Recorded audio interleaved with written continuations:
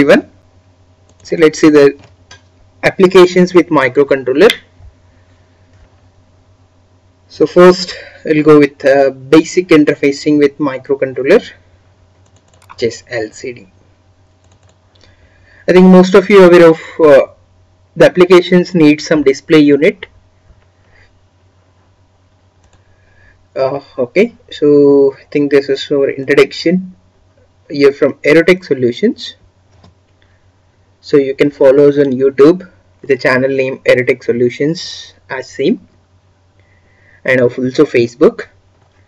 So let's see the basic LCD screen interfacing. I think most of you are of the applications need some display unit mandatory. Most of the electronic systems which requires one display unit to know the status of system what's happening inside of the device or product or system so most of them they will use indicators sometime they will use sometimes text screens sometimes graphical LCDs sometimes image screens. So depends on requirement you need to choose one specific display unit. So among those I'm just discussing about uh, LCDs even LCDs are available at the different matrix sizes. As basic level even 16 cross 1 16 cross 2 what it represents actually what is meant by 20 cross 4 or 16 cross 2 or 32 cross 2 or 20 cross 4 so which represents the total number of characters so 20 the first one represents the number of characters per each line on the screen and second one represents the supporting number of lines. See even if you type the characters on any any screen on products so whether the text will arrange of once the it reach maximum count okay so but there is a capacity. So you need to know about that. Okay so that I'm working with this basic LCD screen and this is just application block diagram representation.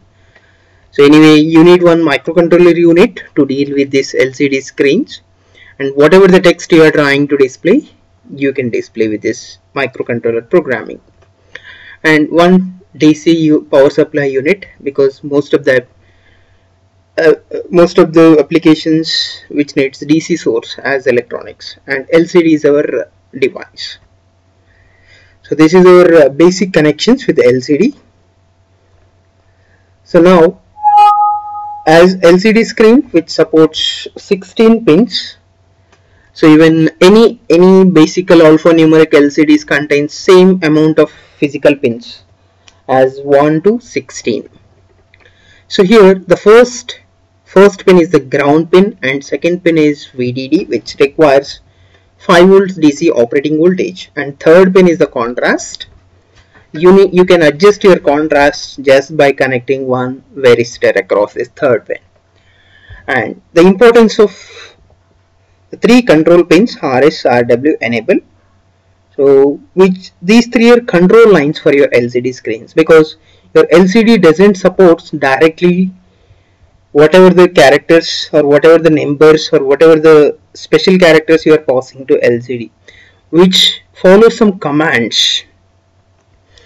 So but you need to manage your LCD screen with programming by working with these control pins. Anyway whenever you are trying to send commands you have to take care of this RS control pin with the logic 0 and again you are changing your command to text. You have to change your RS logic as 1 so that RS control pin decides whether you are passing commands or you are passing text. And RW which indicates that which allows to say what you are doing with the LCD whether you are doing read operation or write operation. And enable pin is acts as keeps your process in synchronization like for each and every change of data or change of command you have to make sure enable high to low so all these three control lines you have to manage with programming that you need to remember. So that I am connecting these three control lines with three GPIOs from controller 2.0, 2.1 and 2.2 and these data lines will help us to pass your characters or numbers or special characters because you know that character which contains one byte which means 8 bits. So you can pass your data through these parallel data lines D0 to D7 so this is the simple connection required between microcontroller and LCD screen. So coming to the program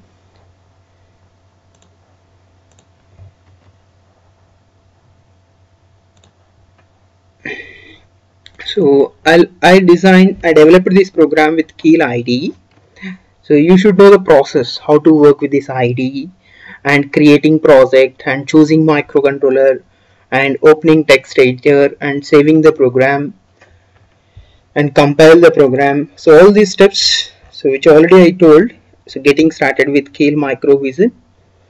So that also you had to take care. So just by watching those videos you can come back to this application. This is already developed program.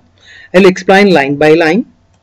So this is your header file of this program which is all 51 families required one standard header file which is reg51.h and here I'm just defining these three control pin connections from the hardware so as per circuit, you know you need to manage your control pins with program.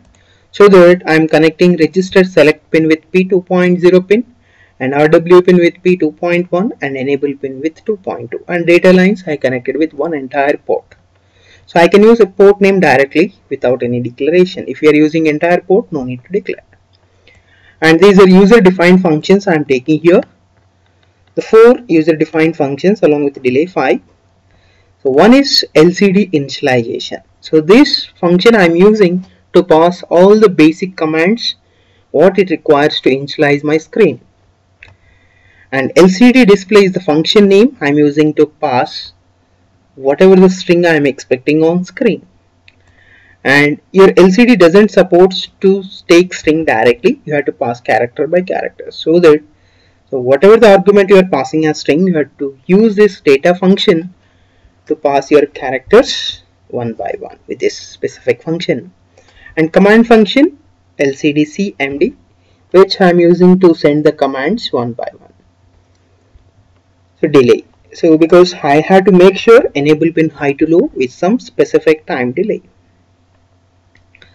Now my main logic starts from here. So see the first line of my program I am directly calling this LCD init function so come to this LCD init function. So here I'm passing some values through this LCD command function. Because I declared already command function with argument which is 1 byte as unsigned char. So the 38 command which requires to activate all the crystals from 4 lines of your LCD screen. And 10 command is shift your cursor position to right. And 06 is the command to make sure you're moving from left to right. And 0C, whatever the text you're passing to LCD screen, you have to display on cursor off is the command. So LCD command C MD 0x80. This is for make sure your text starts from first line first position. This is the description of this command which is available on Google directly. So as LCD commands list. Now, whenever you are using this LCD command function, just see the description of this LCD command function from the program. See, whatever the argument you are passing, which is given passes through this val and which is assigned with port 3. But take care of your control pins logics, RS as 0, RW as 0 and enable high to low. So this process you have to take care while passing commands. Each time this function is executed from this LCD initialization. Now the second function I am calling here LCD dis. So the application title I am displaying here which is 20 cross 4 LCD interface So just come back to this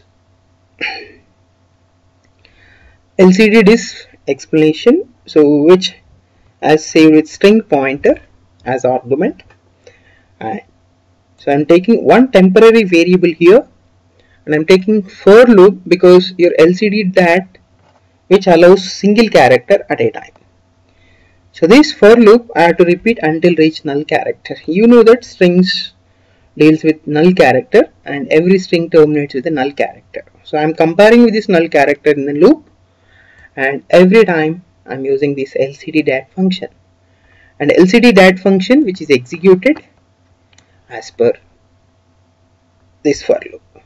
so again I'm just changing this control line logic RS as 1 so that is the one difference you need to understand between command function and data function. Okay so in that later I'm I, I'm just looking to display different messages on four lines of LCD so I think most of you are 16 cross 2 but you need to understand the 20 cross 4 even other sizes of LCDs there is no difference.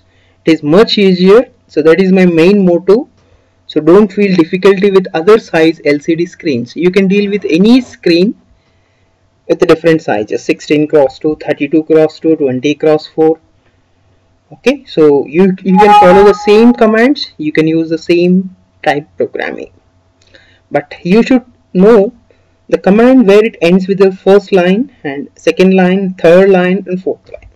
So 80 this is the first line first position command value. You have to pass and whatever the text you are expecting so you can display it on with the first line. But cursor doesn't move directly to second line. You have to pass this suitable command which is C0 and how to go with the third line command? So whatever the end of this third say first line.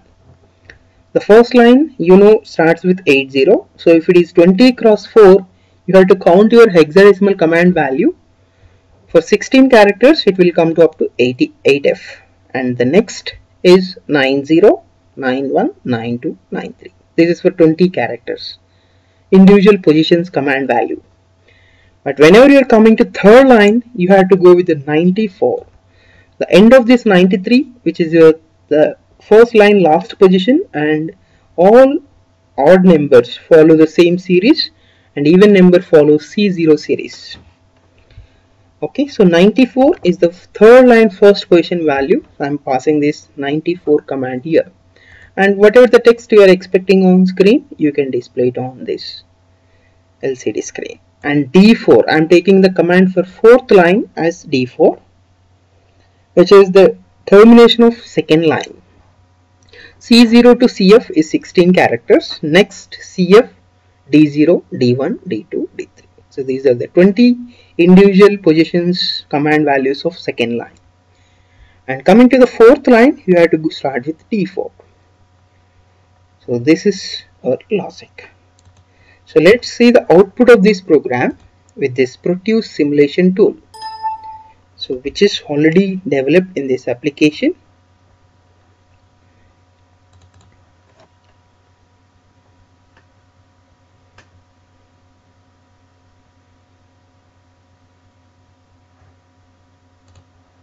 Now, so these are my connections. And you need to link your hex file just by double click on controller. This is my hex file name. Now you can play your circuit. Let's see the title and the four different lines and four different messages on 20 cross 4 LCD screen. So this is a simple way to deal with these peripherals with microcontroller okay. So for more videos just follow us our channel which is youtube on erotech solutions. Please subscribe our channel for more technical videos on microcontrollers and give your valuable feedback feedback as comment and share us and like us. And we are doing different services with this erotech solutions training and placement services and we are doing development also. And we will support all projects on different microcontrollers. So here our address is very clear here from Hyderabad. So which is located very near to KPHB metro station Kukatpalli and if you have any project requirements or training requirements or development requirements just go through this contact number 9676327 and email us ysnanda at the rate aerotechsolutions.com. Thanks for watching.